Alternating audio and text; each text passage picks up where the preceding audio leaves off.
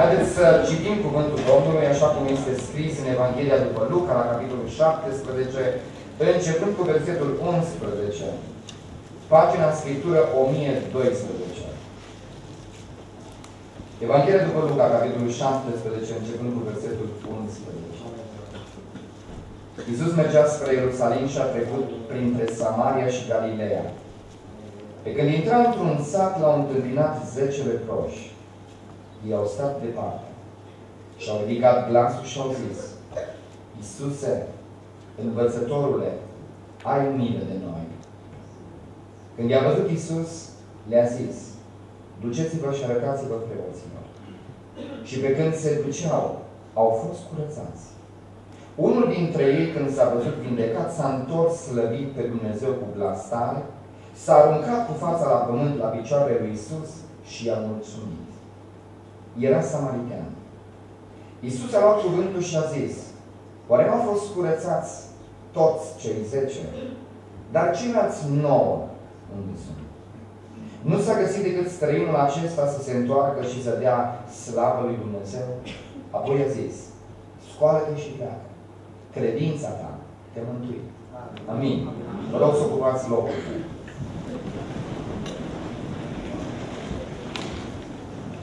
Am băgat de seamă că ați zugrăvit Biserica roz. Atât de cinușie lumea asta, că măcar în biserică să fie roz. Am uitat la pereții bisericii și m-am dus aminte de o expresie franțuzească, la via roz. Dumnezeu în această seară să lumineze sufletul nostru. Dumnezeu să binecuvânteze cu culoarea cerului. Dumnezeu să fie acela care să aducă fiecare dintre noi, dacă este înăurat afară, să aducă o rasă din acest soare al neprihănirii numit Iisus Hristos. Iubiții Domnului, uh, este unul dintre rarele, uh, rarele prileje când Domnul Iisus Hristos mergea singur. Niciodată, o să vedeți dumneavoastră, rar, foarte rar, Domnul Iisus Hristos merge singur. Dar acest text ne arată faptul că Iisus Hristos mergea spre Ierusalim și trecea cumva prin Samaria, printre Samaria și Galileea și de data aceasta Domnul Iisus Hristos era singur. Poate că ucenicii fie au fost trimiși de Domnul Iisus Hristos după mâncare, fie că alte sarcini au primit. Este unul dintre acele rare prilejuri când Domnul Iisus Hristos este singur. Niciun ucenic nu era alături de el. Și vreau să vă spun că Domnul Iisus Hristos face ceva nemai auzit și nemai văzut. Bună oară, m-am rugat luni, avem de câțiva ani uh, la noi în biserică, uh, pe cineva uh, pentru care mă rog, înainte să fie credincioasă, s-a întors la Dumnezeu și a fost diagnosticată cu HIV. De ceva ani de zile ne rugăm. Și am spus înaintea lui Dumnezeu de fiecare dată când m-a rugat pentru ea, cred din toată puterea sufletului meu că va trăi și nu va muri. Este o boală cruntă, este o boală atât de ciudată. Nu știu ca să vă seama că de la an la an ne îmbogățim. A venit, au venit mai întâi, mă aduceți aminte de uh, sindromul vaci nebune? Bântuit pe aici pe România, ce denumire ciudat, vacă nebună. Ne-am speriat cu toții, n-am mai mâncat carne de vită. Mai trecut ce mai trecut o vreme și a venit uh, gripa aviară. Ne-am omorât pasările, tot, nu mai mâncam nici ouă.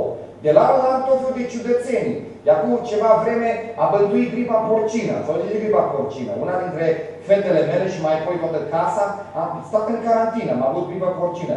Al treilea caz din București l-am avut noi în casă. Un prilej extraordinar de a mulțumi lui Dumnezeu și de a sta în părtășie. Nu știu ce o să mai fie anul viitor sau anul ăsta, dar mă gândesc că gripa oilor nu o să se facă niciodată, că nu o să permită Dumnezeu lucrul ăsta. Mă gândesc că nu o să fie niciodată o gripa a oilor. Poate că porci o să facă gripă. Mă, mă gândesc că oile nu o să facă niciodată. Dumnezeu să ne ajute. Cred că ați înțeles ce vreau să spun. Dar în orice caz sunt niște maladii și niște boli și niște ciudățenii și niște virus care circulă în zilele noastre din ce în ce mai complicați. Boli incurabile când auzi, am fost extrem de bucuros aseară fiind undeva în Bistrița după evangelizare, am primit un telefon de la o tânără pentru care ne rugăm de vreo două luni de zile. I s-a descoperit o tumoare, a fost uh, operată, a fost extirpată o tumoare destul de mare și aproape de vreo lună jumătate tot așteptăm de la, uh, de la laborator să ni se dea analizele, să vedem dacă este o tumoare benignă sau uh, malignă. Și ne-am rugat cu întreaga biserică, am postit și i-am zis, Doamne, vrem un rezultat bun. Și tânăra aceasta trebuie să se căsătorească în august. Și în ultima seară de tineret am zis, uh, eu cred că Dumnezeu te ajută să te duci la nuntă. Și aseară am primit rezultat că uh, nu este o tumoare canceroasă. Că Dumnezeu din cer antismă, nu știu o fi fost sau nu fi fost. Știu un singur lucru, că Dumnezeu ne-a ascultat rugăciunea. Avem așa de multe uh, lucruri care se schimbă, se transformă. Mediul ăsta în care trăim noi a devenit extrem de poluat, de viciat. Când auzi astăzi de HIV, bună oară, o boală care este incurabilă, uh, omul sigur că se cutremură.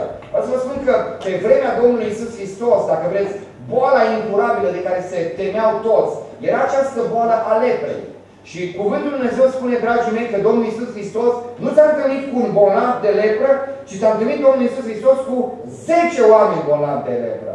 Și când s-a uitat Domnul Isus Hristos la această boală incurabilă, a zis, pe mine nu mă încurcă faptul că, sunt, că este unul, că sunt doi, că sunt zece sau că o sută. Dumnezeu din cer are aceeași putere și El și astăzi și în veci. Și Dumnezeu a vindecat 10 oameni deodată care au fost bolnavi și mie lucrul ăsta îmi spune următoarele. Că Dumnezeu din cer vrea să se știe că și astăzi, când oamenii dau din umeri și sunt speriați, când oamenii zic nu există soluții și nu știu încotro să o luăm, să se știe și astăzi că același Iisus Hristos are soluții la nesoluțiile noastre. Are Dumnezeu răspuns la problemele la care nu există răspuns. Zi astăzi HIV și oamenii se vor speria și vor zice nu există soluție. Dumnezeu spune este soluția. Dumnezeu a vindecat 10 oameni deodată și asta este un lucru uimitor. Dar și ce vreau să vă spun, dragii mei? De n-ar fi fost unul dintre ei să se întoarcă. Acest, această întâmplare relatată de Biblie niciodată n-ar fi ajuns la noi. Din cei 10, unul s-a întors și a povestit. Ucenicii nu erau cu Domnul Iisus Hristos. Povestind omul acesta, s-au pus în mișcare lucrurile și astfel ucenicii au consemnat, ca noi să știm astăzi, că Domnul Iisus Hristos a vindecat 10 leproși. Tu, dragul meu, și eu, dragul meu, suntem chemați de Dumnezeu și mă gândesc în felul următor. Oriunde mă duc, Dumnezeu să ne ierte câte prostii audio astăzi. Oriunde mă duc. Așa de multă vorbire despre politică. Tot românii priceput la politică. Toți sunt cu părerea. Boc în sus, boc în jos, păsesc la stânga, păsesc la dreapta. Numai o mulțime de lucruri care sunt fără însemnătate de vorbim. Și vreau să vă spun un singur lucru, dragii mei. Știți de ce Iisus Hristos nu-i puternic în Oradea? Sau nu e atât de puternic pe cât Andreea? Că pocăiții tac. Și stau în fața televizorului și se uită la show și se uită la divertisment și se uită la tot felul de analize politice ca să știi cum mor. De trăit, numai Dumnezeu poate să spună cum trăiești. Mor bine, mor sănătos sau mor bolnav. Grat sau slab. Ne uităm și ne umplem de tot felul de spaime și neliniști și teme și îndoieli. Uite de la televizor și apoi probabil că te ridica și o să spui potopul în Hristos care mă întărește. Cu mine. Când te uiți, după aceea te moi și ești ca apă. Asta este realitatea, dragii mei. Vreau numele Domnului Isus Hristos, plecând din această seară, toți cei ce au primit vindecare să strige în gura mare. Isus Hristos m-a mântuit. Isus Hristos m-a vindecat. Spune-ți pretutinde ce bine v-a făcut vouă Dumnezeu. Ai mâncat astăzi. Îi spus copilului tău când ai stat la masă, nu uita copile, pâinea aceasta vine de la Dumnezeu. În momentul în care ați fost pus într-o situație de promovare, a venit șeful și a zis, mă, ești un angajat model, ești un angajat bun. Cineva te lăuda la școală și a zis, măi, ai o minte bună. Tu te ridica să spui, domnul profesor, patroane, să știi că n-aș fi fost bun de nimic, dar Dumnezeul meu m-a ajutat. Domnului dau slava și cinstea și mărirea. De ce sunteți mulți? De ce nu vorbiți despre Dumnezeul vostru? Eu vreau să spun în această seară, eram nenorocit și orb și gol și cu sânetul pustit, dar a venit Iisus Hristos la mine. Acum anul acesta, într-o dimineață, uh, am, uh, am întârziat, cumva trebuia să fi plecat la serviciu. Și la un moment dat am auzit, uh, am auzit pe soția mea care ieșise, am auzit-o strigând, țipând. În momentul acela m-am dus repede afară și am văzut-o uh, pur și simplu datorită condițiilor alunecat și a venit cu capul în colțul de la zidărie și și-a spart capul, a avut două plăci, una deschisă foarte puternică, se-și sângele ca la fântână arteziană. Soția mea striga acolo, am luat-o repede în brațe, am dus-o în casă, am abloșit-o cum am știut eu, am dat repede telefon la ambulanță, a venit ambulanța și în momentul în care a venit, așa am lăudat pe Dumnezeu și am zis, mare ești tu, Doamne, și în necazurile noastre. Au venit niște băieți extraordinari, niște băieți care atât de frumos au purtat, Dumnezeu să le dea sănătate. Și uh, imediat au dus-o la ambulan, cu ambulanța la spital, a mers în urmă și ne-au spus, vă rog frumos, nu vă țineți după noi, ziceau ei, pentru că nu vrem să fie doi accidentați, ci un singur accidentat, îl duce, o ducem pe la spital și în timp ce mă duceam la spital, că uh, de pe ambulanță ei dau la cel mai apropiat spital, n-au un spital anume.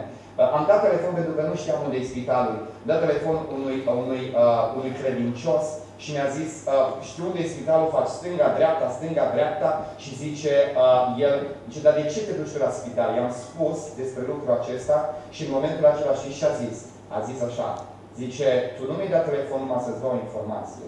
Tu acum de ce nu poți? Dar eu am să dau telefon la toți cei pe care știu. Și am să trimis SMS-ul tuturor celor pe care știu.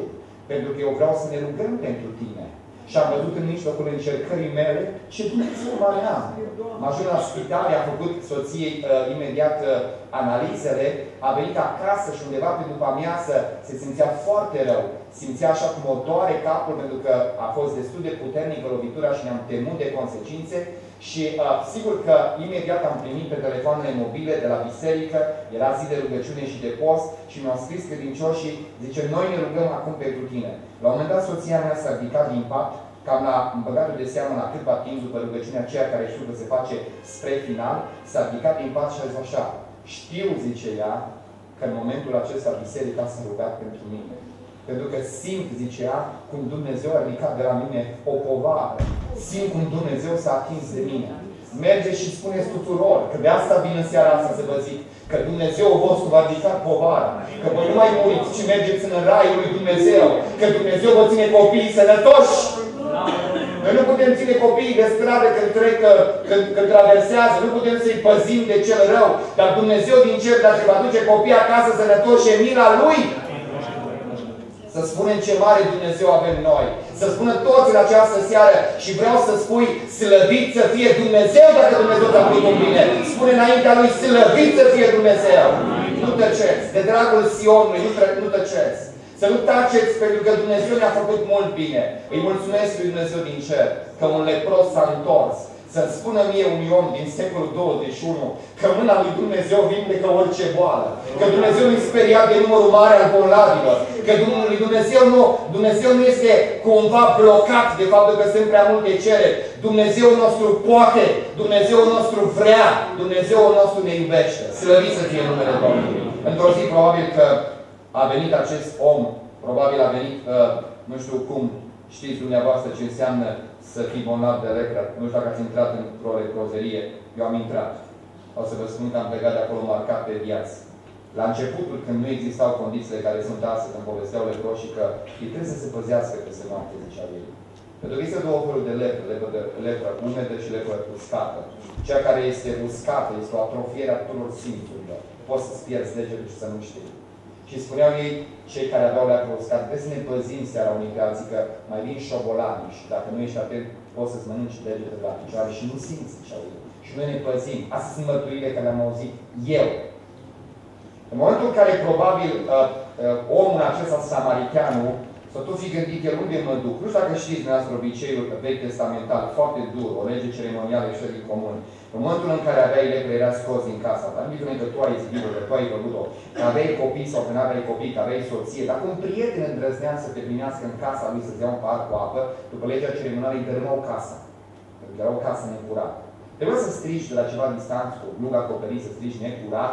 Și cel mai mare și cel mai greu lucru este că n-aveai încotro să te duci. Ce prieten, ce strâns în brațe, te-a strâns cineva astăzi în brațe, dă mâna cu cineva, mulțumește lui Dumnezeu cum ai degete. Mulțumește lui Dumnezeu că poți să strângi pe cineva în brațe. Ai un copil și l-ai strâns la pieptul tău, mulțumește lui Dumnezeu. Amărâți și nu puteau să mai fac. Amărâți și nu puteau să-și mai strângă copiii în brațe pe care ei făcuse. Trebuiau să stea de la distanță, să se uite la casa pe care ei o zidiseră. Asta era nebunia și ciudățenia acestei boli. Omul acesta probabil că s-a gândit într-o zi, unde să mă duc? Erau niște reprozerii undeva în afara orașului, în afara orașului, în afara cetății. S-a dus și el acolo. Și s-a apropiat de un grup. S-a apropiat de un grup de oameni. S-a apropiat de un grup de oameni ca și el. Și probabil că le-a zis, măi, zice el, ă, voi sunteți, ați un grup. Că n-ai cum să trăiești în asemenea condiții pe unul singur. Și a zis el, nu mă primiți și pe mine, zice el, poate că mă primiți și pe mine în grupul vostru. Și a zis el, dar știți, e o problemă. Eu zic și el sunt samaritean. Voi de bună seamă sunteți iudei și între samariteni și iudei nu e nicio legătură. Noi nu putem să ne unim, că avem diferențe. Mie îmi place cântarea 900, ție îți place cântarea 901. Mie îmi place un pic mai repede, ție îți place un pic mai lent. Ție îți place cu tobe, nu îmi place cu tobe. Mă doare stomacul când cântă tobe. Fiecare îi place un fel sau altul. Venim la biserică și spune, pe vremea mea, ce era pe vremea ta, prietene? Și ce spune Ecleziastul? Nu spune că zilele de acum sunt mai bune decât zilele de odinioară, că nu din înțelepciune vorbești tu așa. Nu spune mie că Dumnezeu te un Dumnezeu al trecutului. Dacă ai fost și ești un om credincios, arată-o astăzi, nu odinioară. Că nu ne ajută cu nimic să pomenim ce a fost. Ne ajută să trăim bine azi. Dumnezeu să ne ajute. S-a dus Samariteanul să și-a zis, mă, mă, primiți în grupul vostru, că eu, de exemplu, cred că trebuie să ne închinăm pe muntele Garizim. Voi pe ce munte? O, ce noi trebuie să ne închinăm la Ierusalim. Și a zis, nu e o problemă. Cum zice el, mă primiți în grupul vostru? Și eu a zis, da, te primim. Dar de ce mă primiți în grupul vostru? Zice, eu vezi, lepra când a venit, zice el, puțin mi-a afectat ochii. Deci eu de când am lepră, am ceva probleme la Și eu nu prea mai văd diferențele religioase, zice el. În cauza leprei, pe mine nu mă interesează prea mult, dacă unii baptist, unii pentecostal. Pot cânta baptiștii cu acordeonul și pot uh, pentecostale predica în trei puncte. E o părere. Voi ce credeți? Și din cauza leprei, eu am o problemă cu ochii și nu prea mai te văd. Samaritean zici că ești, eu nu prea te văd samaritean, zice el. Te văd așa un necăjit. Te văd un om care ești îndurerat. Zice, dar tu n-ai probleme? Zice, dar voi, dar voi n-ați auzit ce am zis eu? Îi zice, n-ați auzit? Zice unul, știi ce? Zice unul, da, nu, eu nu. Zice, eu am probleme cu urechile de când am lepră. Nu prea mai aud tot felul de prostii care se spun pe la colțuri. Nu mă interesează cine cum predică. Nu mă interesează dacă unul a cântat nota 8 sau nota 10. Nu sunt juriu să dau note. Eu îți dau biserică să-mi zidesc sufletul, să mă fac mai bun. Nu mai aud care sunt în jurul meu. Nu mă interesează nimicurile care sunt în jurul meu. Am probleme cu lepra. Și lepra mi-a afectat auzul. Și atunci eu nu mai am probleme să aud că tu ești samaritean. Nu mai am probleme să aud că tu ești într-un fel și altul ești într-alt fel. Ați înțeles la ce? Dumnezeu din cer apasă și iar apasă. Și apasă Dumnezeu și apasă. Și Dumnezeu când apasă, dragii mei, în viața noastră, se vede că Dumnezeu vrea să dispară toate gardurile și zidurile pe care noi le-am pus. Frați și surori, știți de ce suntem noi critici unii la adresa altora? Vreau să o spun pe aia românească. Din pricina binelui, multui bine care e în viața noastră. Confortul ăsta ne-a făcut atât de străini unul de altul. Noi suntem și ne împărțim și ne clasificăm câte clase ai. Două facultăți și un masterat. Bine, zici tu. Vino mai aproape. Tu ce clasă ai la mașină? SLK. Bravo, zice, ești prietenul meu. Dar tu câte etaje ai la casă? Două. Bravo, zice. Vino mai aproape de mine. M-ați înțeles? Toată viața ne uităm la diferențe care nu sunt importante în ochii lui Dumnezeu. Dar în ziua în care vine necazul și în ziua în care vine problema, când ai lacrimile pe obraz, când în viața ta se năpustește ca o furtună greutatea, nu mai contează decât un singur lucru. Hristos în noi, nădejdea slavei. Și va uni biserica noastră lui confortul.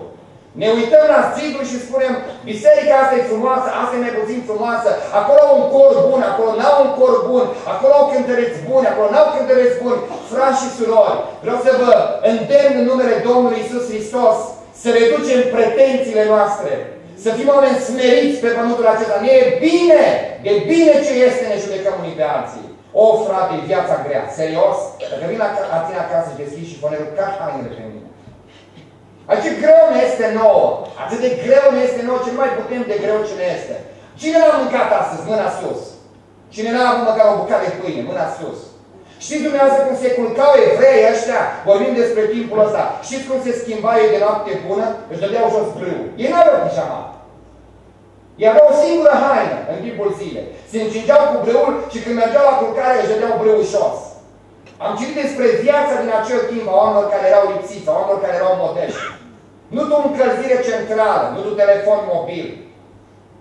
Noi când avem, nu știu ce să avem, la binecuvântare, luăm copilul binecuvântat și s-a dus tata, un telefon mobil. Frate, nu mai îmi place telefonul ăsta. De ce? A apărut acum mai nou. Păi eu trebuie să zici alo la telefon. Ce la telefon trebuie să zici Aceasta este realitatea, oameni buni. Avem o grămadă de lucruri. Atât bine ne este în viața noastră ce n-am văzut. De ce suntem astăzi de multe ori impresurați? Face, frate, mi-e greu rău de tot, frate, nu mă mai ajung cu banii. Dar de ce? Păi am trei împrumuturi la bancă. De ce? Mi-am luat două plasme, mi-am mai luat nu știu ce combină, mi-am mai luat un laptop de ultima generație să fie de bine. Deschide ochii. Pentru că pe pământul acesta trebuie să avem echilibru. Dumnezeu nostru este un Dumnezeu al echilibrului. Dumnezeu să ne binecuvânteze să înțelegem în această seară și Dumnezeu să ne binecuvânteze în, această, în aceste momente să fim cinstiți cu Dumnezeu nostru, să fim smeriți cu Dumnezeu nostru. Lasă jos judecata, prietene, că într-o zi Dumnezeu te va vizita și să să nu-ți placă ceea ce spune Domnul Dumnezeu. Trăiește smerit cu Dumnezeul tău și Dumnezeu să ne ajute, dragii mei, mai degrabă să spunem cu toții, mulțumim, Doamne, că ne-ai dat mai mult decât ne trebuie. Ce se lipsește? N-ai un pat? Când ai mulțumit ultima oară pentru faptul că Dumnezeu te-a dat un pat? Când ai mulțumit ultima oară pentru faptul că Dumnezeu te-a dat o casă? Câți dintre noi avem o cheie să descuiem casa? Când o descui, să spui, Doamne, îți mulțumesc că am o cheie. N-am să uit cu un an de zile, am tot mers prin București pe străzi. Mă uitam la toate luminile care erau aprinse. Eram de sărac, că unii spun la un moment dat, zice, frate, noi am pornit de la uh, lingură și furculiță, zice. Și au zis, slăvit să fie Dumnezeu. Eu în ziua anunții am avut un cuțit să deschid conserva pe care trebuie să o mănânc. Se poate și mai rău de atât. Mergeam pe străzile din București și mă uitam la lumini și spuneam, Doamne, toți ăștia spocăiți? Toți ăștia credincioși care au o casă? Eu sunt copilul tău și n-am o casă. Și un an de zile mă uitam la toate luminile care erau aprinse și spuneam, și bine e să ai o casă. Și acum, când stăm înaintea lui Dumnezeu, nu ne mai uh, ajunge o casă. Dacă s-ar putea să avem două case. Trei case. Patru case. Bun. Haideți să mergem un pic mai departe și să vedem un lucru. La un moment dat, acești leproși prind de veste că Domnul Isus Hristos trece de acolo. Și Biblia subliniază un lucru pe care aș vrea să vedeți împreună cu mine uh, și să-l citim. Spune Biblia în felul următor, că acești leproși l-au întâmpinat pe Domnul Isus Hristos, dar l-au întâmpinat pe Domnul Isus Hristos într-un mod aparte. Spune Biblia că au stat departe. Tocmai v-am explicat că legea ceremonială interzicea ca ei să se apropie. Vă rog din toată inima, în timp ce vorbim și în timp ce stăm și avem părtășie, să mai ieșiți din când în când, Doamne ajută. Mai rugați-vă din când în când. Au învățat prieteni. Au învățat că trebuie să stea departe. Au învățat că dacă te apropii uh, de un om, este posibil ca sancțiunea să fie puternică. Existau, uh, spre exemplu, în vremea aceea, un ordin, se numea Ordinul Rabinilor Însângerați. Și de ce erau rabini însângerați? Așa de uh, sfinți vreau să fie, că dacă, spre exemplu, vedeau o femeie pe stradă, închideau ochii pe cea. Și știi cum este, uh, până închizi ochii, mai mergi un pas. Dacă se întâmplă să fie un stâlp acolo sau un obstacol, mai dea cu capul sau se mai împedicau și tot timpul erau săraci însângerați. Ordinul rabinilor însângerați. Să spun, dragii mei, că leproșii ăștia sunt Biblia că au stat departe, că au învățat să stai departe. Și noi, vreau să vă spun un lucru, dragii mei, eu vă uit la voi în această seară. Și așa, sincer vă vorbesc, mă la fețele voastre. Îl văd pe unul zâmbind, parcă și eu îmi vine să-i întind mâna să mă duc lângă el. Mă uit la altul, statuia din parcul, nu știu ce parc aveți aici, se uită la mine cru, așa cu o privire post-mortem, știți? Când îl văd în felul acesta, parcă și mine m-a făcut așa o frică. Doamne, nu voi fi deschis și știreturile, nu știu. Mă duc uite așa.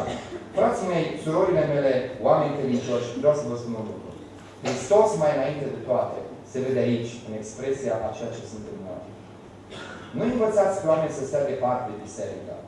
Atât de, mult, uh, atât de mult îmi place la biserică să mă uit la fiecare dintre oamenii care intră.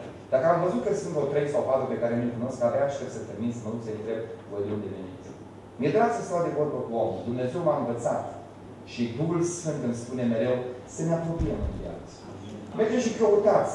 Spre exemplu, eu obișnuiesc și poate că nu-i uh, rău obiceiul ăsta, poate că și dumneavoastră poate l aveți. Eu de fiecare dată, după ce cântăm o cântare în biserică, îi pun pe oameni să dea mâna unii cu alții și să se întrebe de unde sunt, ai cui sunt. N-ați băgat de seamă care e cea mai frumoasă perioadă de la biserică? Care e cea mai, perioadă, cea mai frumoasă perioadă? Aia din curțile bisericii. Și mai mult gelos. Când se termină biserica și dacă îi împingi pe hai acasă, nu se bucură. Stau în curtea bisericii, tot, tot, tot, și vorbesc și vorbesc și se bucură unul de alții. Și atunci mi-am gândit eu zi, mă, de ce să nu încep eu cu sfârșitul? Încep cu sfârșitul. Și am pus oameni să vorbească în biserică. Un minut, două, trei, să dea mâna cu ei, să nu se așa. Mă, tu cine ești? Eu nu te cunosc pe tine. Nu te-am mai văzut niciodată. Dați o mână, binecuvântați-vă. Spuneți unul altuia ceva din partea lui Dumnezeu. Mă, mi-e drag de tine, nu te-am mai văzut. Ce ochi frumoși. Da, sigur, soră la soră și frate la frate.